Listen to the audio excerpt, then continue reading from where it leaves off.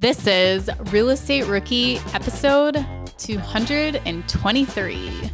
I relate everything back to my world of, of kayaking and, and being an athlete. And through my decades of, of competing, I've, I've just realized that you either you kind of win or you learn. Um, and through loss, I try to use that as like a learning experience. So I knew that I'm either gonna figure this out and it's gonna be a great and a home run hit because I was running the numbers and I was like, this is either gonna be like too good to be true, or I'm gonna learn from this experience uh, and I'm gonna keep, you know, taking those baby steps forward. It, so, kind of using that win or learn mentality instead of the win or lose, and it kind of got me into you know that first deal, which then got me into the second and the third and the fourth, and has kept me moving forward. My name is Ashley Kerr, and I'm here with my co host, Tony Robinson. And welcome to the Real Estate Rookie podcast, where every week, twice a week, we bring you the inspiration, information, motivation, and education you need to kickstart your investing journey. And oftentimes, we like to start the, the podcast with some reviews from some wonderful people in the Real Estate Rookie community.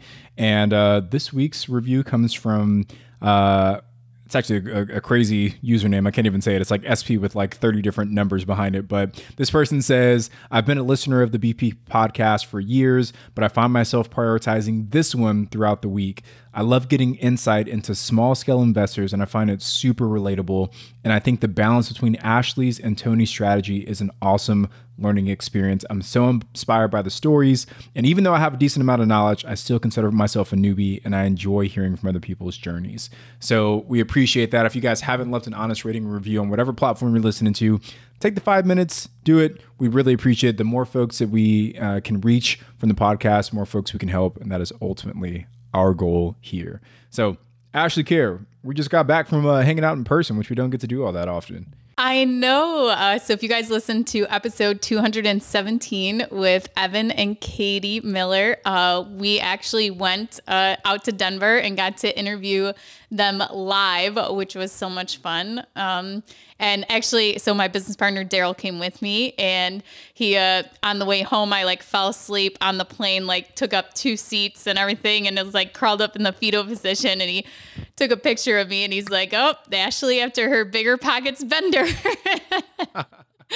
but it was so much fun. Just like three days, all real estate people. We had a meetup. Over 300 people came to the meetup. So make sure you guys are checking out um, our Instagram accounts and the Bigger Pockets Instagram account to find out where we're going next for our next meetup. Yeah, it's always so cool to get to meet people from the, the rookie community. And there were literally people that flew in just for the meetup, which was like so unreal to me. So, I mean, it was, it, it's always so cool to get to meet folks. And, and we had a wonderful, wonderful time. Um, and yeah, like Ashley said, looking forward to being able to do it again soon. Um, what else is new, Ash? What else you got going on?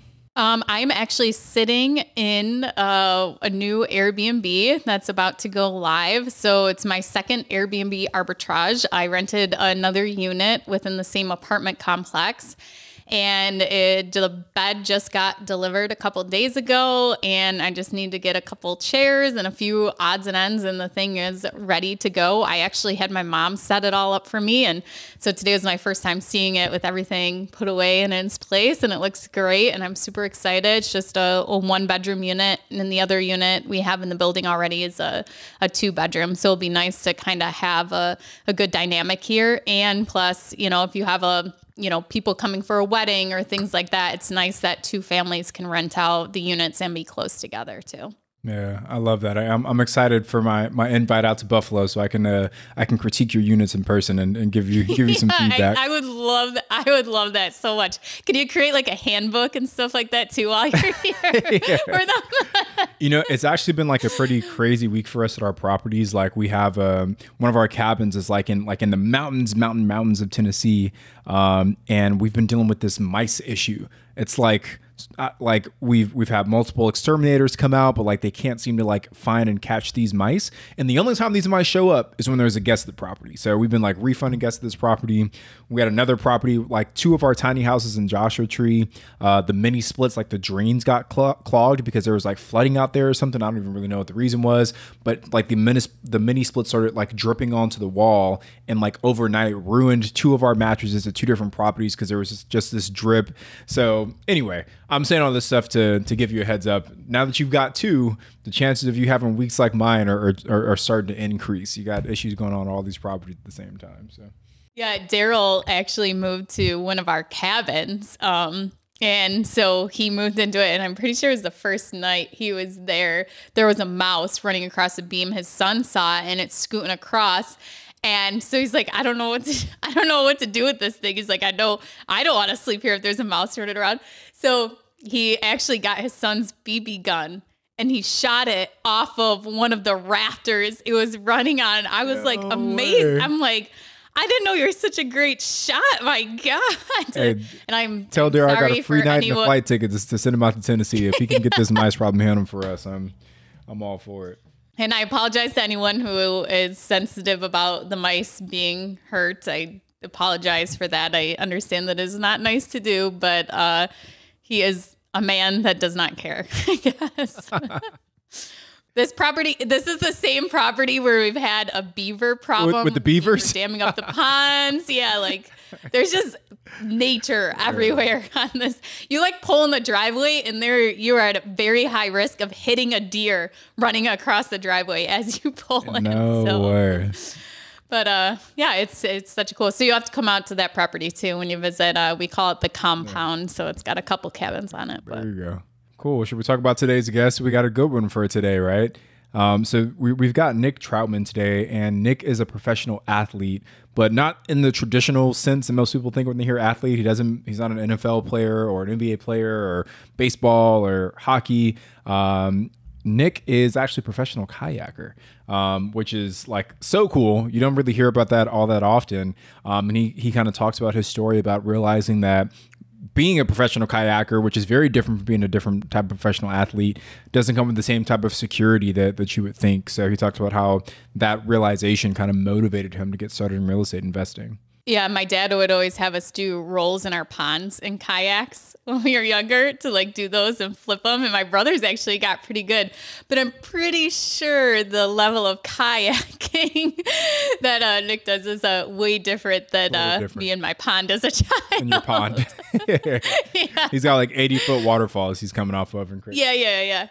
So I, my biggest takeaways on this is just like the power of being by like-minded people of, you know, being constantly told like you're crazy, you shouldn't do this. And, you know, that applied to him in both his profession and real estate investing too, is surrounding your people, surrounding yourself with people who are like-minded, who are like, yeah, you're what you're doing isn't normal. You're weird just like us, but that's way better because you can do so many different things and you have greater opportunity. Um, so that was my, my biggest takeaway. And then just him talking about, you know, risk and fear and, you know, versus danger actually what the differences between those were the big takeaways. So make sure you guys listen all the way through. Um, he also mentions towards the end and i won't give it away but what his favorite podcast is. So you'll want to check that out too.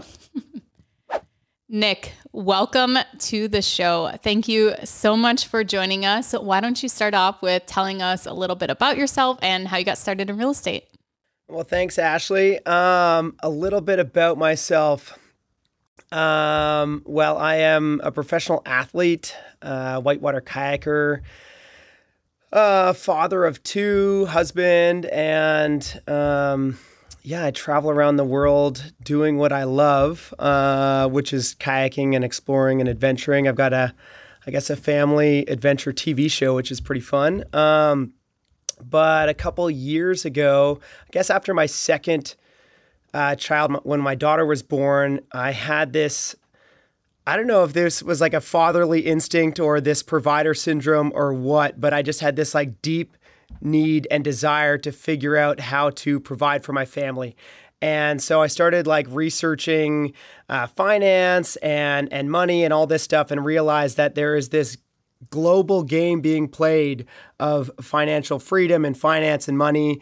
And I didn't even know the rules of the game and yet alone like how I was doing or that I was even really playing this game. And so started reading a ton of books started learning a ton um, and eventually uh, stumbled upon real estate, and a friend actually introduced me to the Bigger Pockets podcast. He was like, "You should just just go check out Bigger Pockets." Um, I was about to like invest in one of those like thirty thousand dollar programs where some guru was going to teach me how to do real estate. And my wife wasn't too into that idea. So uh, I started researching Bigger Pockets, realized that there was just a ton of value and, and free information.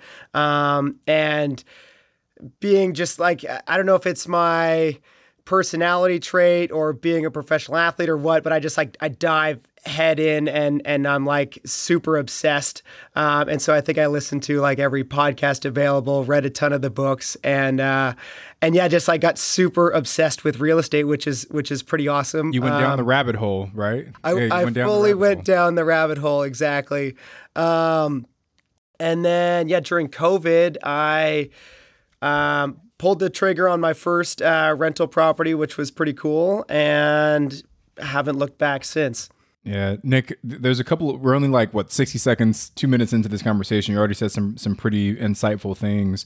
Uh, one of the things you said was you you you realized that there was this game being played, and and you didn't even know that the game existed, let alone what those rules were.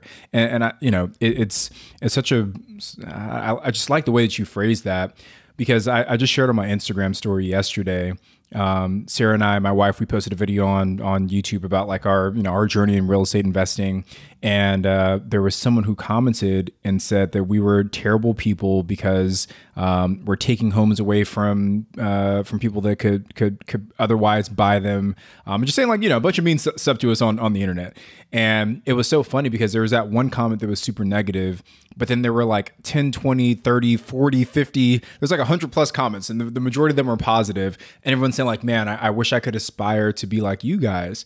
And, you know, I, I, shared this on my story. I was like, you know, for me growing up, we rented my entire life. Like we, we always rented homes. We never owned. It wasn't until I became an adult and I had my own money that I was able to, to afford to buy something. But as a kid growing up, I was never like upset at the landlord for being the landlord. I was always thinking like, man, how can I become a landlord myself and play that game at the same level?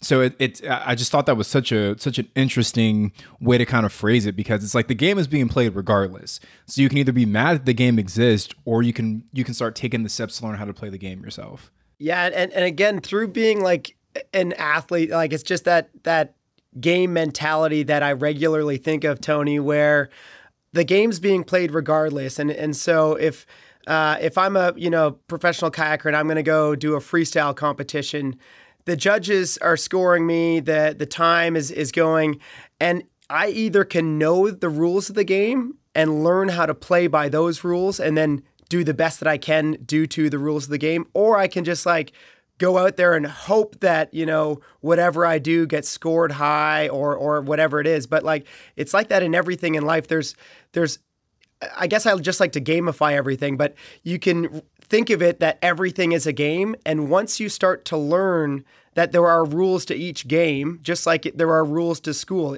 school is set up. I mean, unfortunately, not that I'm trying to go down that ta- tangent, but um, where it's like it's set up for people to be tested on one the subject that they're learning and, and two the information that they've been given. And then three it's really about like how to remember that information. You could go study for an exam and just like you just brainwash yourself think of like study it all.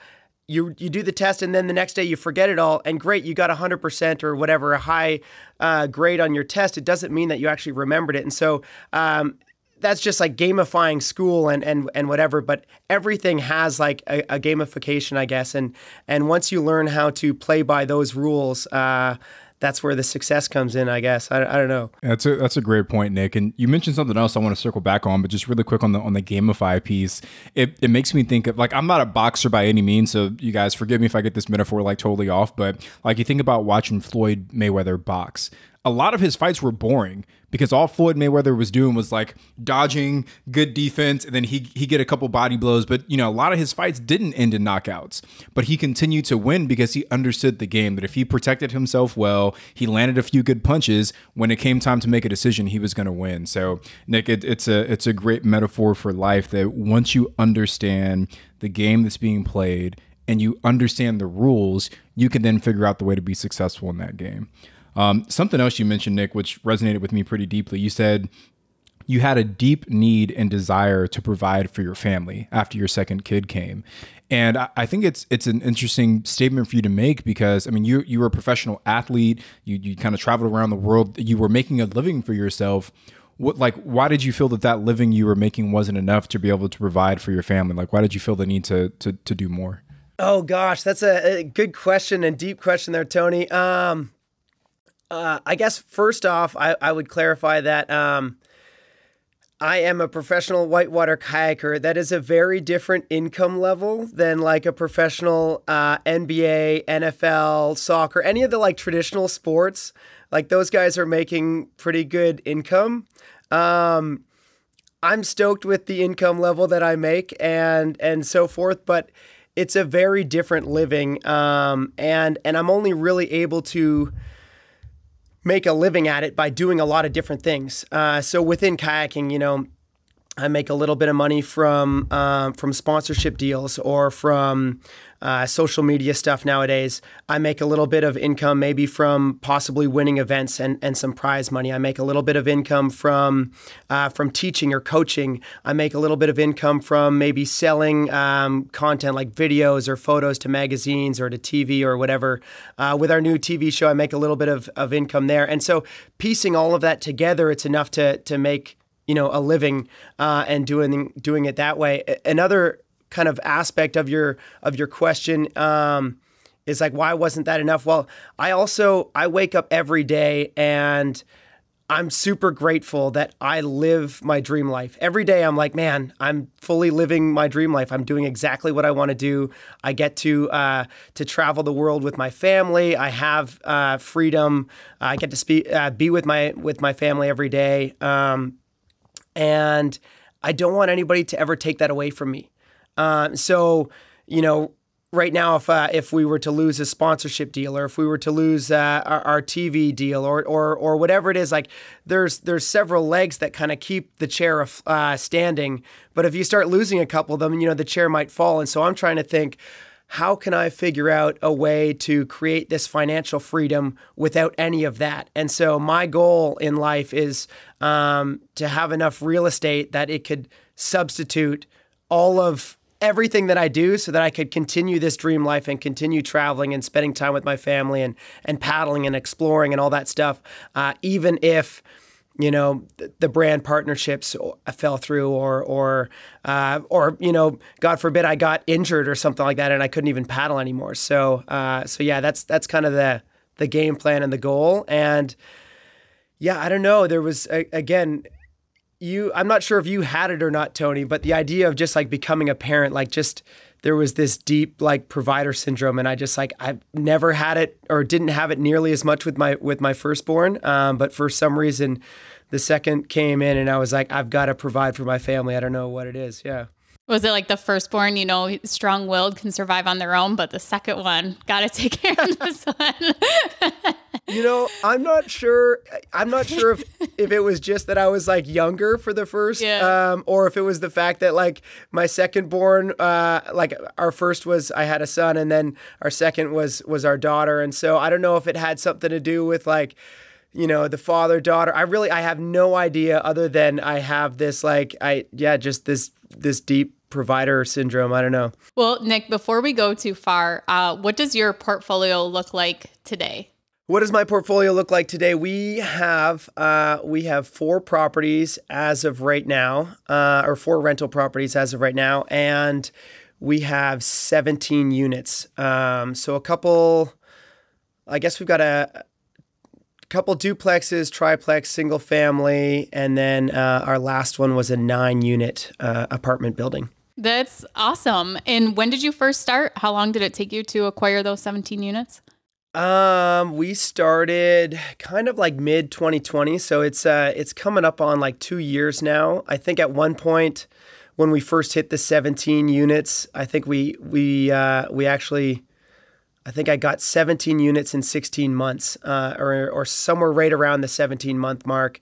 And then we've slowed down a little bit after this last nine unit, being that uh, each one we've kind of done the the BRRRR method, and this last one has been a pretty extensive rehab, uh, and we're still in the midst of, of the rehab of the nine unit. And so, um, I, I have learned lessons along the way, and in part of that, uh, I realized that I should slow down on the accumulation of units and properties, and still kind of make sure that I've got that cash uh, ready for the unknowns. Because uh, what I've learned along the way is that there's always unknowns in any rehab project. Um, so yeah, we've got some more some more properties, and we're still in acquisition mode and still trying to buy some more and whatever, but. Um, but I've I've kind of slowed down until slowed on the gas a little bit until this nine unit is finished anyway.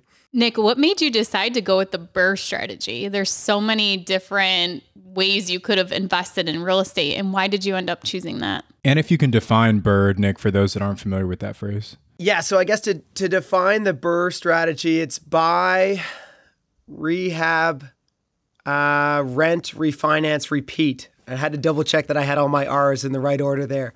Um, and the way that, or I guess why we went with it was um, in my learning phase of, and I'm still in the learning phase, but definitely in the early learning phase of listening to a lot of uh, BiggerPockets and reading a lot of the books. To me, that one just seemed like one of the most powerful methods for getting into real estate in the sense that you can actually recycle that same um, seed capital. So the the proper the the money that goes into the property, you can refinance, pull that back out, and then use that same money for the next property. Um, and that's exactly what we've been able to do, and uh, it's worked really well. And that alone is the reason why we've been able to accumulate the properties as quick as we have. And and I would definitely um, say the you know so-called success that I've had um, this far has to do with the BRRRR property or the BRRRR methods uh, with our properties. And the other thing too was like within learning all of this, um, I read um, David Greene's book, Long Distance Real Estate Investing. Uh, and for me, that was such a huge light bulb and, and shift because a lot of the interviews on bigger pockets you'd hear about people trying to get out of their nine to five, trying to um, find that financial freedom so that they could leave their job. And and for me, I'm like, I love my job. I, I don't want to leave at all.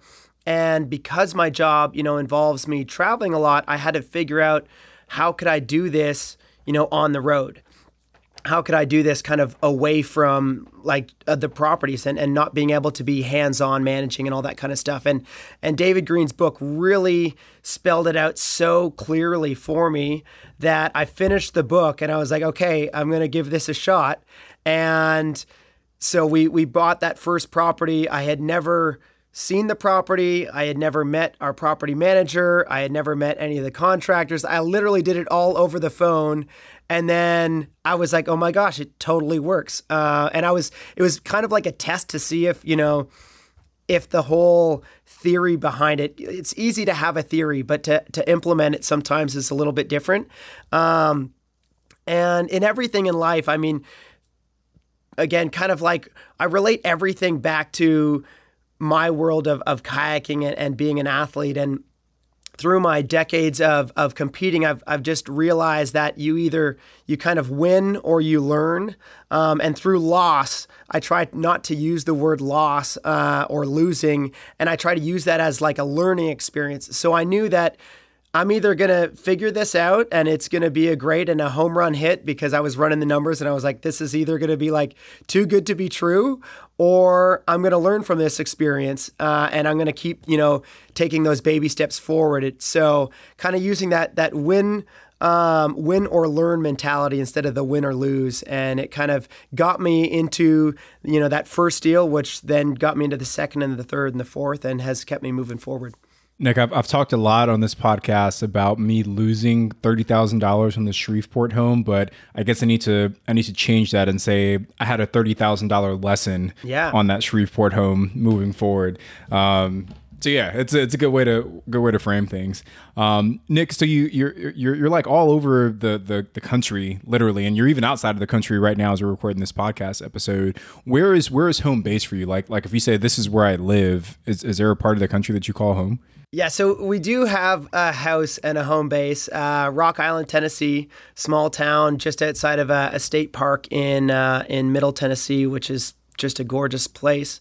Um, but again, through my work and, and being an athlete, we're on the road anywhere from six to 10 months out of the year traveling around with, with a truck and a trailer. And um, yeah, so we're definitely on the road quite a bit, but, but Tennessee yeah. is, is still, I guess, where we call home, where, where we go home for the holidays anyway. Yeah. And then, so and your, your home is, is Tennessee, give or take. Where of these 17 units, like where are these spread out at? What, what, what markets are you investing in? Yeah, so the the first the first eight were in um, were in Columbus, Georgia, and being that my you know being that I've been able to super fortunate to be able to travel around the country. Uh, I get to see a lot of different markets. And so, what brought me to Columbus, Georgia was a whitewater park. Um, and it's actually going to be the home of the World Championships next year. So, that'll be super cool. But I used to go down to, or I had been going down to this, uh, to this city to go kayaking a fair amount. And I had noticed that they were really putting a lot of money into, um, um, kind of just redoing a lot of the the riverfront community and, and a lot of money was going into kind of uh, upkeep in in that city and, and just trying to reintroduce a lot of the the older buildings and stuff like that. Um, and then when I was running numbers, it just had a great rent to price ratio. Um, the, the, rents for the, the purchase price really were some of the most favorable in like every market in the United States that I had looked at. Um, and so I was like, okay, well, let's start here. Uh, the next market and, and the one that we bought our nine unit in is in Cookeville, Tennessee, which is about 40 to 60 minutes outside of Nashville, uh, and it's about 35 to 40 minutes from where I actually live. And so, pretty familiar with the um, with that city. Uh, Tennessee Tech is there, so there's uh, it's kind of like college college town um, outside of Nashville. Definitely, it's it's been growing quite a bit in the in the last coming years, and and being that that's where you know, being the closest city, that's where we go for like date night and stuff like that. Uh, that I kind of knew that area quite well over the last couple of years, and, and I could see it growing, um, and I just felt you know comfortable. And again, it was just another one of those deals that uh, came across that I was like, man, this seems too good to be true.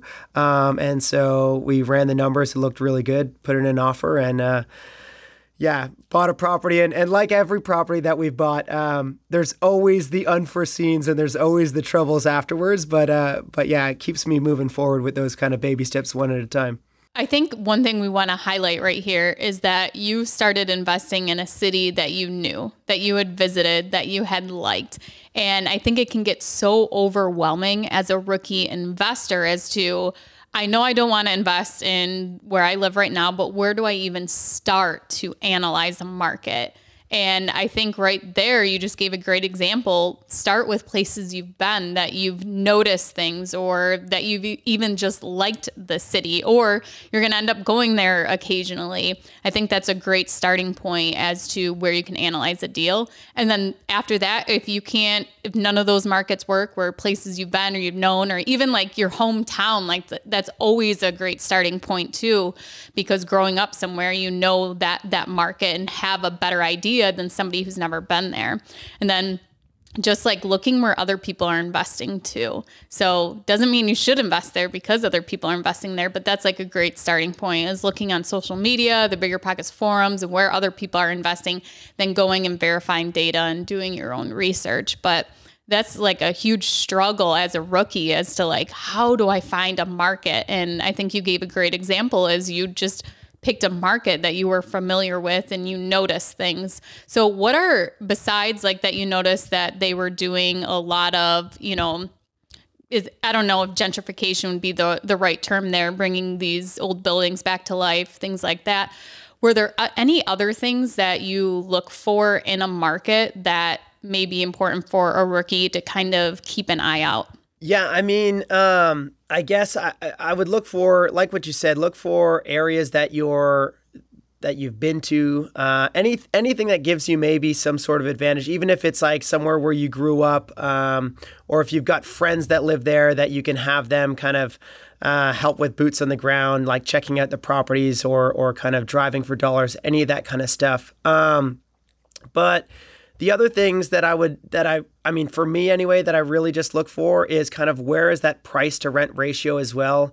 Um, looking up like where has um, where have prices kind of gone in the last couple years. You can look back to you know the the 2008 crash or whatever see how they do through different like market cycles um, can you just explain real quick what the price to rent ratio is yeah the, so the price to rent ratio is essentially um, how much you know like okay a commonly used term would be like that the 1% ratio or, or the the or the 1% rule or the 2% rule or something like that. But a, a 1% rule is that the monthly um, rent is 1% of what the purchase price is. And so that's kind of like that price to rent ratio right there where you want to figure out where does your monthly rent compare to your purchase price overall.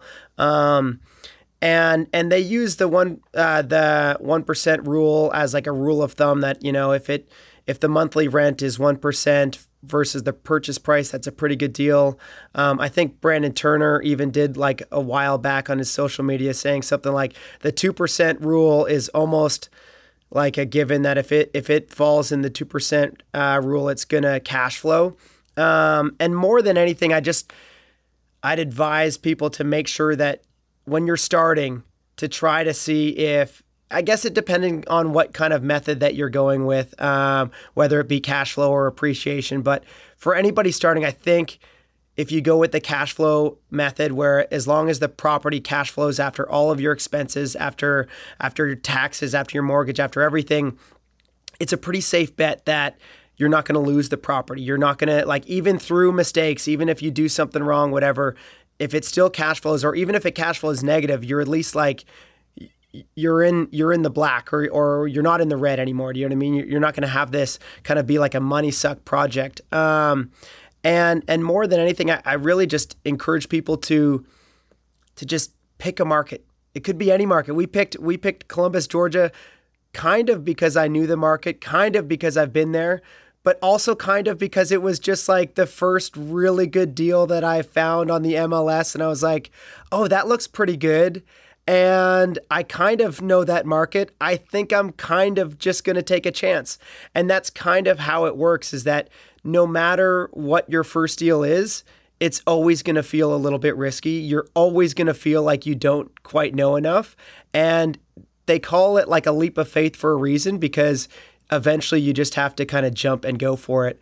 Um, and we could kind of get into like the whole like risk and reward and and fear analogies and all that kind of stuff. And again, because I I deal with a lot of a lot of fear from from kayaking and, and from you know my my history and, and background in whitewater and I try to remind myself that fear is false evidence appearing real. Fear happens all the time. We all deal with fear and you know i get regularly called crazy and, and that kind of thing if i go over you know an 80 foot waterfall people are like you're crazy but what they're not realizing is like the analysis between like fear and danger and, and scouting those rapids and scouting that waterfall and trying to analyze okay what is actually dangerous? Where are the actual dangers in this scenario? Can I avoid those dangers?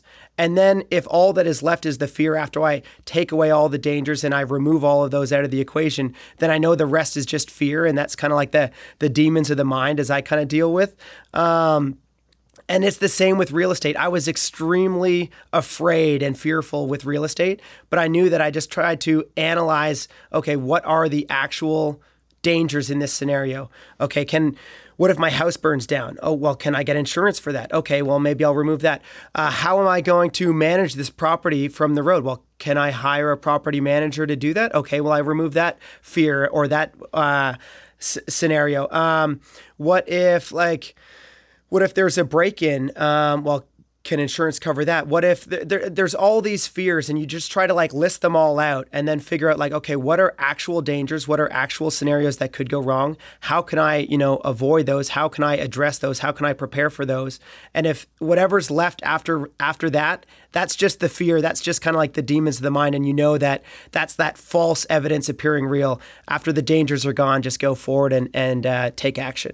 Nick, that is that is a great analogy um, about fear. I've, I've, I've actually never really heard it phrased that way about danger versus fear.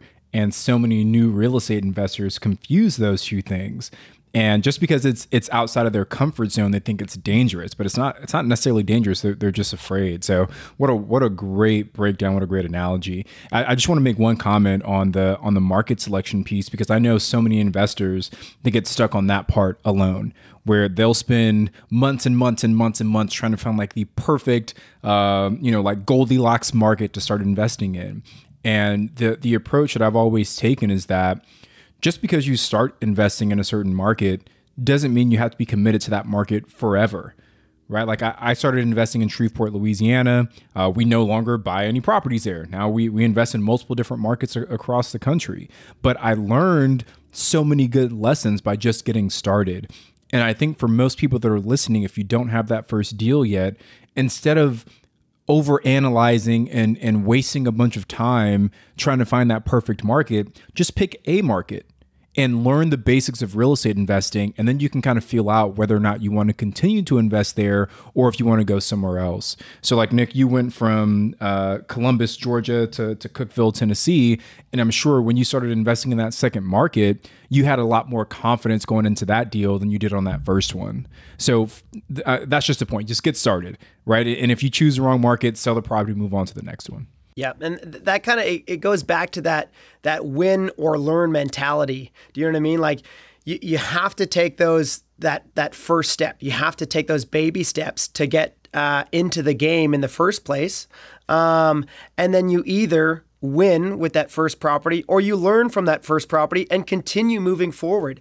Uh, it, it's just like that, you know the game of life or the game of finance or the game of whatever, you know, there, there's always a next step. So just keep moving forward and eventually, you know, you'll get to whatever that end goal is. You'll you'll you'll reach that result. I have another phrase that I remind myself always too. Um, it's that uh, if you never give up, you you cannot lose. Uh, meaning that you will always win as long as you keep moving forward. You keep taking action. You keep, you know, learning from those mistakes. Um, and so, yeah, kind of going back to which market to pick. I was in that analysis paralysis. I was the one that was listening to all the different, you know, um, BiggerPockets podcasts. I was the one asking those questions on the forums, like, where should I invest? Um, and eventually, I just I picked a market and I just went for it and I just tried, knowing that like, okay, well, you know, maybe this first deal isn't going to be the right one. Maybe I'll have to learn from these mistakes. Maybe I'll have to sell it. Who knows? Um, but but by taking that first step, it enables me to take the second step and the third step and the fourth step. I think everybody just wants to maximize their return. So their first deal, they're thinking, I just have this amount of money, or I have this skill set, or I have this time, or whatever it is. What is the best way for me to use it and take advantage of, you know, this opportunity? And you can get so caught up on that is the best way to maximize your return but just getting started is going to be a way better return than you waiting five years for that home run deal to come about or wasting so much time trying to decide um, do I use my cash to buy one property? Do I spread it out over five properties? Do I invest it in something else, then go and buy a property? Is just pick one because a lot of the times they're all wins. You're all, you're making a return somehow. Maybe you're giving up more time or less time based on what the return is for that. But it's just that just getting started and it's going to propel you because that one deal could be one of thousands of deals that you'll do later on. And you that deal won't even matter anymore because it propelled you to to bring on all these other deals and just getting started. So But Nick, one thing you talked about was that people say you're crazy. And I'm assuming you're talking about like the risk of, you know, kayaking and white rapids. But did anybody think that about you too when you started to invest in real estate? And, you know, what about your spouse? How did you get your spouse on board? And what does kind of your support system look like as an investor? Uh, so you got a couple questions there, and, and, I'll try to answer them in order there, Ashley. Um, first off, yeah, I definitely get called crazy sometimes, and, and that would be due to like the kayaking aspect and, and running waterfalls and whatever it might be. Nick, when you said 80 foot waterfalls, I thought you were a little crazy too, man. Like uh, 80 feet, I can't even like picture that in my mind. So there, there's a little bit of crazy in there for sure. It's like an eight story building, Tony. Think of it like that. You'll, it'll be fine. But, um, but yeah, so and it's the same in real estate. It's the same in so many things um, where if you go kind of ag- against the grain or against maybe like what society might deem as normal, then people are going to probably start calling you crazy. And for the most people, you know, you buy a house and you live in it and, and you you have a nine to five job and, and that's just kind of what life work looks like. If you start doing things that are kind of outside that, people will start – calling you a little bit crazy. And, and the more that you veer outside of that, uh, the more that you got called crazy. And so definitely, you know, I, I have been told throughout my entire life that, you know, people question regularly like what am i doing what am i doing when i wanted to get into kayaking at, uh, uh, when i was starting what am i doing you know when i i after high school left to go continue kayaking travel the world um, and not go to university people started questioning and, and thinking I'm crazy if like I'm having a family without having like you know this uh, this university or college degree. How am I going to support my my kids and my family moving forward? People think I'm gonna that I'm crazy if I'm you know going to start a podcast or start real estate or or doing anything. People that isn't like deemed normal, they're going to start questioning you and being like, I don't I don't think you should do that. You know, my my uncle bought real estate one day and he didn't do so well, so I don't think it's a good idea. And it's like, well, either instead of just kind of like following, you know, the narrative of, of what maybe society might deem as normal or um, or okay, something that I, I, guess what I learned through a lot of my travels and, and what I'm super fortunate uh, to have been able to travel the world, but that that we grow up with this narrative of kind of like being taught what is right, what is wrong, what is normal, right? Here in America, it's super normal for us to eat cows. It seems normal. We have we have burgers all the time. It's like American dish. You go to India and it's like, you know, not forbidden, but you, you would never eat a cow because it's a religious animal. You go to um, here in America, we would never eat horses that's it's like a pet animal. It's just like deemed like you would just never do that. You go to Iceland, that's just normal. So you just have to start realizing that whatever kind of is deemed normal might just be the environment that you grew up in. And the more that you kind of look outside that box, the more that you realize, like, oh, for us three right now, for this conversation, investing in real estate is totally normal but maybe not for everybody. So it might be like opening and widening that horizon um, and that idea of what normal might be and trying to kind of realize, like, oh, there might be other ways to do this. And so, um, yeah, that, that kind of answers your question a little bit of, of people calling me crazy. Back to like, is my wife supportive? Luckily for me, um, in this whole like journey of trying to figure out the the game of money and the game of finance, I have uh, I tried some like some stock uh, stock trading and some options trading and, and definitely lost money in some of that. And so my wife was way more on board with real estate. We've been on, kind of talking about real estate since we were once we got married, and so I'm, I'm super fortunate that she's uh, on board with that as well, and she really likes the idea of investing in real estate.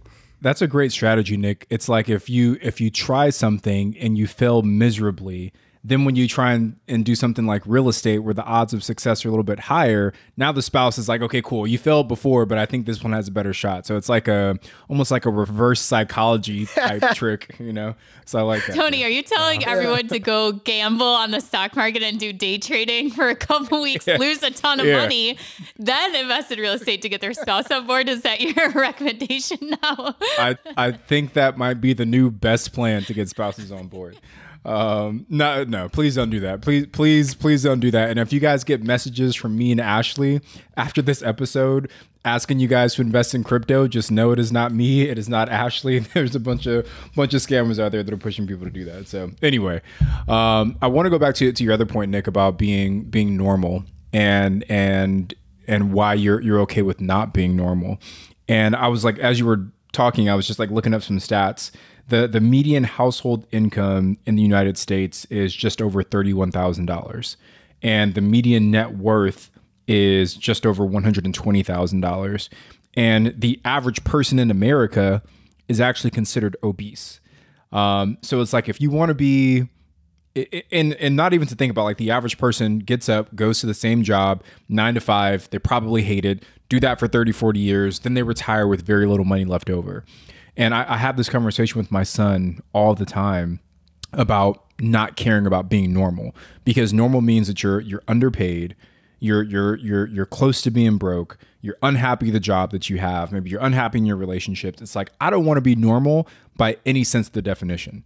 Yeah. I want I want to do things that make people think that I am weird because if I'm doing that, it probably means I'm on a path towards success. So like the the, the whole idea of being normal, I think we, we need to push that aside as real estate investors. And honestly, I think that's why this podcast, this this rookie community is so important because now you can interact with people who are just as weird as you are and, and are willing to do a lot of the crazy things that you are as well. So I, I appreciate you kind of sharing that insight with us. And it's also a lot more fun to not be normal because um, that's that's where like the adventure is. That's where the excitement is in life.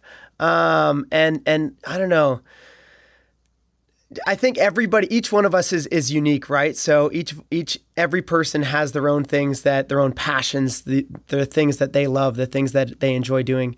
Figure out what that is and uh, and just go chase that. And and yeah, I don't know. I, I encourage people to uh, just to chase their dreams, no matter uh, how weird society might deem them.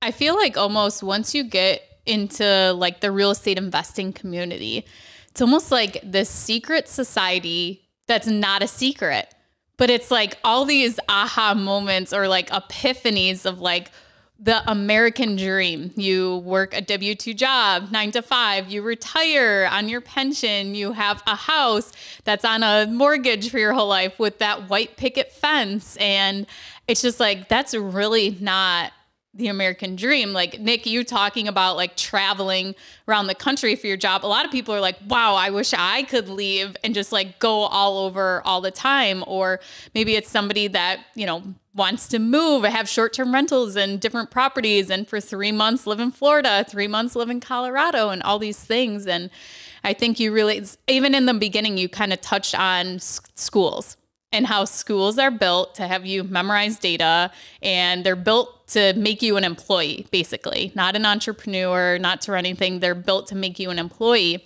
And I just like think all of these things as you get involved with these like minded individuals who realize that real wealth is out there and you don't have to climb the corporate ladder to be a CEO to have this high net worth, that there's way easier ways to do it. And real estate investing is definitely one of those and just opens up so many possibilities and opportunities that a lot of us couldn't even fathom, you know, maybe even growing up thinking that this is what our life would be now. And it's just because we actually did something normal. We bought a couple houses. Buying houses is normal. It's not like we went and invented some kind of app or piece of technology that created wealth for us. We did something that's actually quite easy. It's just like you talked about, Nick, overcoming that fear and understanding what the risk actually is and getting into it. So Oh, go ahead. No, I, I was just going to add to add to that that um, that that success and and maybe um, wealth or or anything like that is going to be deemed a little bit different for each one of us. Do you know what I mean? Everybody kind of has their own idea of what that dream life might be, what that success looks like and it could be it could be one rental it could be financial freedom it could be the ability to travel the the time freedom uh, to spend with family. So realize that don't get caught up on what society might deem success looks like um, and don't get too caught up on just like what society deems as normal because we we um, make heroes out of so many people that went against the grain and kind of chase their own passions, um, like Walt Disney or or Elon Musk or like just so many people that that I'm sure during their time um, were deemed a little bit crazy and, and a little bit against the norm. And then later on in life, we're like, oh, look at those guys that just kind of chased their dreams and, and you know went for it. So for for all the rookies out there, I highly encourage you guys to figure out what your why is and and just go for it. No matter what it might be, just take some action, take baby steps because that helps like minimize that fear. Um, but take action either way. That's great, Nick. Thank you. Okay, so let's talk about one of your deals. Let's get into the numbers of it. Do you have a property in mind that you want to go over? I do have a property in mind, yeah. Okay, I'm gonna. Um, it's gonna be kind of rapid fire. I'm just gonna ask you some quick questions, and then you can kind of go into the the story of it. So, uh, where is this property located? Uh, this was our first ever property, and it is located in Columbus, Georgia. And what is the strategy? The strategy was uh, the BRRRR method, and I was literally taking it straight out of the pages of Long Distance Real Estate Investing by David Greene. And how many units is it? It is four units, and it's actually two side by side duplexes. Um, and ironically, it was listed on the MLS. I think it had it was written up as a duplex, but the square footage and the the bedroom count and everything it had per unit. So it literally it was listed as I think two bedroom, one bath. And then I'm looking and I was like, that doesn't make any sense. And the photo had this like this kind of odd photo from the street looking at it and it looked like it's two you know parallel side by side duplexes and i was like i think this might be like you know either they didn't write it up right in the listing, or or this just might be one of those opportunities that's uh, too good to be true. So I gave him a call and uh, got some information on it, and I think we put it in an offer that day. That's a good tip. Is that MLS listings are not always accurate. Uh, sometimes you can go through a property too and like look at the pictures and be like, wait, those two kitchens are different. Are there two kitchens in this property, and they have it listed as a single family instead of a two unit? What was the purchase pri- price that you ended up um, getting this property for? So the purchase price, this is going to be more normal for you, Ashley. Probably a little crazy for Tony. Uh, the, the purchase price, it was listed. Actually, I guess it was listed for forty five thousand um, for for four units, and this was in the peak of fear, like uh, May June of 2020. So the peak of COVID fear, um, and it was our first deal and, and I was pretty intimidated, but I was running the numbers and they had the the agent, it was actually a wholesaler, but the agent said that they were renting at 500 a unit and I'm running the numbers in my head and I'm like this seems way too good to be true. So we just kind of kept going one step forward, making an offer, one step forward, you know, doing our um, our inspection one step forward, uh, kind of continue that way, and then uh, we eventually closed on the property um, for forty two thousand. Awesome. And then how much rehab did you have to put into the property? So this is where it gets interesting. Um, technically, we've put in uh, we've probably put in about twelve thousand or so into it now, give or take. Um, but when we first did the BRRRR strategy, we were able to BRRRR it without putting any rehab into it. Um, and the wild part was just the way that uh, the banks work that you guys know you have to have owned the property for six months before you can uh, refinance the property. And i don't know if it was just within those six months or if that it was kind of right from the peak fear of covid into the crazy boom that went right after it.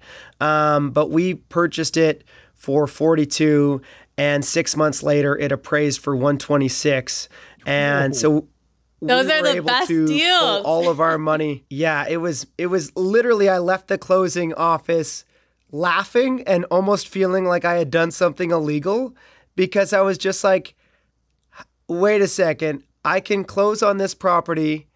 I I now have no money into the property. My tenants are paying my mortgage and still a little bit of cash flow. And now I've got 30,000 in my pocket to go buy another deal. Like I was just mind blown. I literally was like, why does everybody not do this? And so since then, I've I've been trying to tell, you know, speak from the balcony to everybody that'll that's open to listen. Like, you should probably look at this whole real estate thing. There's money to be made here. That is awesome, Nick. Um, what a great first property to get to. I'm sure that even just made you more motivated to go out and uh, get your next deal. Um, so with the taking out the, did you take out 80% then of the appraised value for the mortgage? Uh, I think we took out. I'd have to go back and look. It was either I think it was seventy five uh, loan to value. So I think we took we took out of uh, out of the refinance. I think we took seventy two back out. Um, so we paid off what our down payment was, or we paid. Yeah, we paid off our our purchase price because we paid in cash, and then um, and then we still had thirty thousand left. Now, 12 of that went into rehabbing because one of those units ended up being a, a hoarder unit afterwards, um, which I wasn't fully aware of because I had never seen the property in person. Um, but either way, I mean, it was just again like one of those things that it was uh, it was a just another learning step along the way, and and I feel like life is filled with all these uh, these steps that that we're to learn from and, and keep moving forward. But it was that first baby step that got my foot in the door in real estate. And it is definitely the one that, you know, uh, keeps me moving forward because I can just see the power of what real estate has to offer. Yeah, well, I love hearing stories about successful first deals, Nick, and it's like that that gateway drug into doing more and more and more of that same thing. So we appreciate you sharing that story with us, Nick.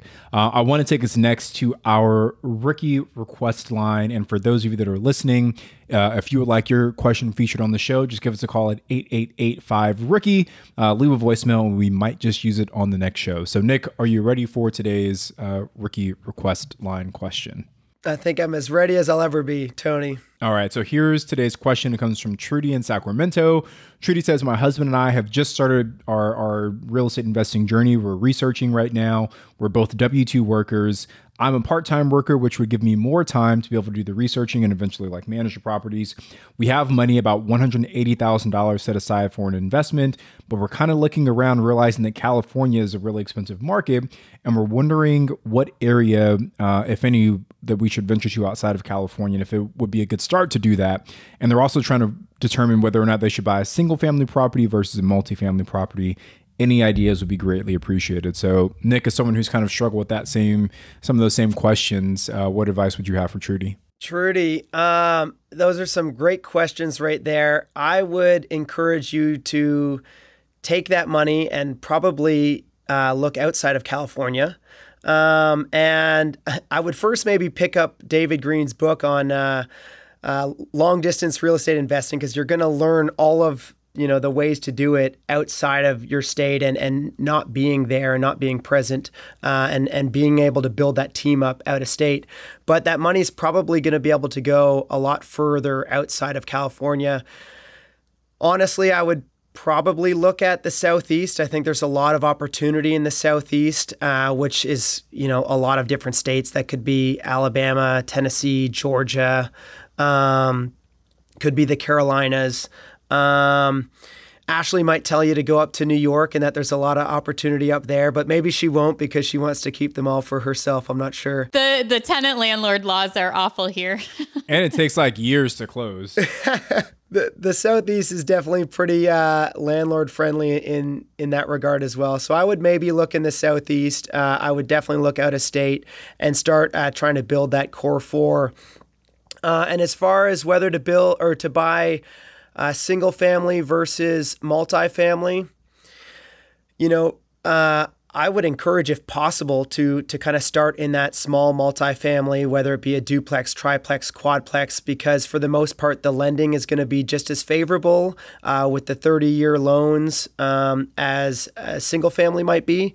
But you get the the bonuses of getting you know two rents, three rents, or four rents, depending on kind of what kind of small multifamily it is, and it just uh, it helps kind of recognize that power of real estate when you start getting you know multiple rents coming in a month so uh, trudy I, I, wish you the absolute best with your journey and uh, very excited for you guys and yeah definitely maybe pick up a book go listen to some old podcasts and um, and look out of state yeah, that's wonderful advice, Nick. So I just want to take us to our, our next segment here, which is our uh, rookie exam.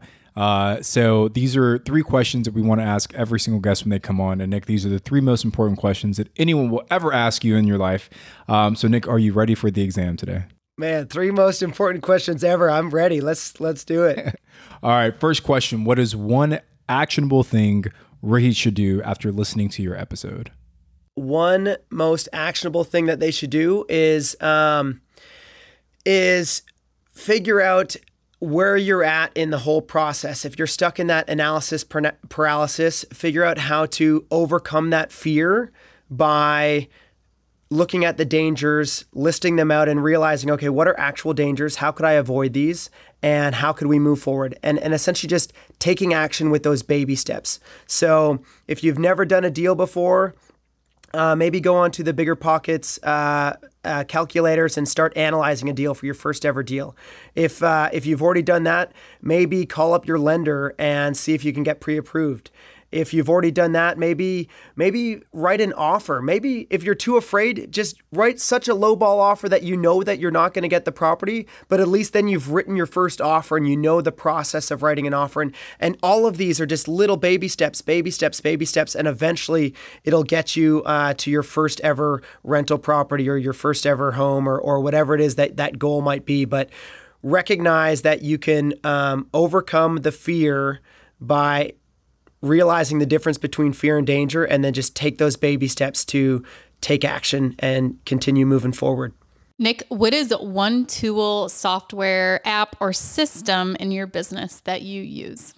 Um, one tool, app, or system. Honestly, um, this is gonna sound pretty funny. Um, but I would say as far as apps go, you know, I've kind of I've set up our whole system with you know, out of state in mind, being that I want to be able to travel, I want to be able to be on the road, I want to be away from these properties. So we've got managers that are set in place to do it all. Uh, the two apps that I use the most would be one, the podcast app on my phone because I I just constantly listen to BiggerPockets uh, podcast, to your podcast, uh, and I'm constantly just trying to learn new creative strategies, learn uh, new ways that I could be, you know, writing offers, new ways that I could be uh, taking action and and moving forward with my goals. And then the other one would be like the Zillow app. Uh, all of our deals that I found are all off of the MLS. It's going to sound super cliche or weird, but it's worked. Um, and I've if I've got free time, I try to make at least every day. I look at the different markets that we're interested in, and I'll just do a quick five minute search to see if there's new properties, um, or even if if there's a new market that I want to look at. But uh, yeah, probably those would be the two apps that I use the most. Would be maybe uh, the Zillow app and and the podcast app on my phone. All right. And obviously, Nick's favorite podcast is the Real Estate Rookie Show. I know he didn't mention that part, but I just wanted to plug that in for him. Anyway, so we'll, we'll move on to the to the last question there. So, Nick, where do you plan on being in five years? This is probably going to be again, um, you know, against the grain of what most of your guests might say but I kind of want to be right where I'm at. I wake up again every day feeling like I live this dream life. So I want to continue living this dream life. I want to continue traveling the world, uh, continue doing this, you know, family adventure TV show that we've got, continue spending time with my kids, getting outdoors. Um, so for a lot of it, I just kind of want to keep doing what I'm doing. As far as finances go, uh, I definitely want to get uh, or want to be financially free and, and within five years that's definitely a, goal of mine is to be financially free to essentially substitute all of our current finances through our real estate to have that backup if something were to ever occur. Um, but yeah keep on living life and uh, living it to the fullest tony Awesome, Nick. I, I, love that, brother. And you know, sometimes it's not about necessarily changing your life, but just kind of fortifying the life that you already live. And sounds like that's the path that you're on. So we, we appreciate you answering those questions for you or for us, Nick. And, and just a heads up, you passed the exam, uh, so you, you, you passed with flying colors. So we appreciate that. Um, so before we wrap up, I just want to highlight this week's Rookie Rockstar. And this week's Rookie Rockstar is Andres Uribe. And Andres says, uh, "This is my second long distance purchase." Closed two months after my first purchase, and the second one is a six unit multifamily property in Pennsylvania. Bought it for 330 grand using hard money. Uh, rehab was supposed to be 90K, uh, but had to fire a contractor and then took a while for him to evict the tenants. Uh, had to catch up and had to hire four different construction crews and went over $67,000 on, uh, on the budget. Uh, but either way, uh, he has an opportunity to increase the rents, get a pretty high NOI, um, and he's hoping that it'll appraise for about seven hundred thousand dollars once it's all said and done. Um, actually, he, he added one little note at the bottom. He and I guess it's a, 12 month update. Andres said, uh, 12 months later, nowhere near the profit I was expecting, but man, have I learned a ton. Growth has been the key here. It has been scary, but an amazing learning experience. Every time I get a curveball that could have ruined the deal and me, I smile and I find it exciting. I don't freak out. There is no choice but to keep moving. I bought this quote unquote stressful situation on myself. No one else did. Uh, I tried to create wealth, and eventually I will. So, uh, this what a what a great uh, rookie rock star to kind of tie into everything you talked about today, Nick. Of rolling with the punches, taking these quote unquote failures and turning them into lessons, and realizing that failure doesn't happen until you give up. So, Andres, we can't wait to to hear what that ne- next successful deal looks like. And when it does happen, Andres, be sure to to put in your app for the show so we can get you on here and, and share the story with everybody. It's like a college tuition. yeah.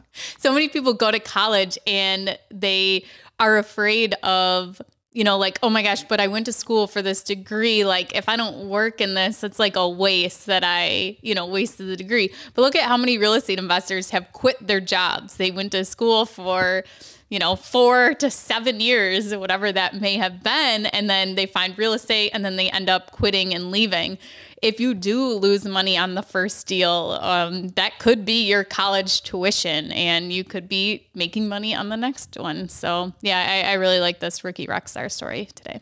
Congrats to Andreas. And uh, it sounds like an amazing deal. And, and like everything that we've been talking about, uh, it's the, the win or learn mentality. And I think uh, I think he's winning in the long run. So uh, super excited uh, where he goes with it for sure.